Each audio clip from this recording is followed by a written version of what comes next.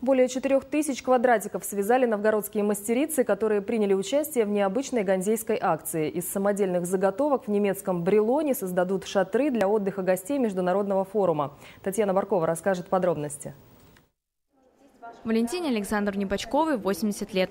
Она вместе со своей дружной командой «Зоренька» за пару недель связала 78 квадратиков. Пенсионерки с радостью принимают участие в любых акциях. А когда узнали, что их маленькие творения отправятся в немецкий город Брелон, решили покреативить.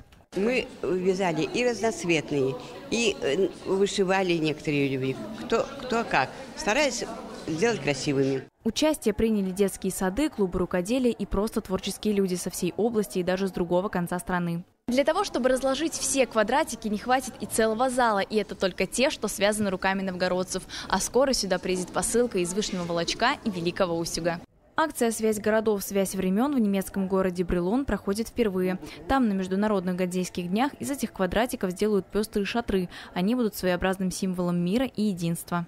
Создание такой палатки, э, которая состоит из э, маленьких квадратиков 15 на 15, сделаны своими руками. Это, кстати, девиз Ганзейских дней в Брелоне э, «Ганза своими руками». Новгородцы и жители области к акции подключились очень активно. Всего связали порядка 4 тысяч квадратиков. На несколько шатров точно хватит.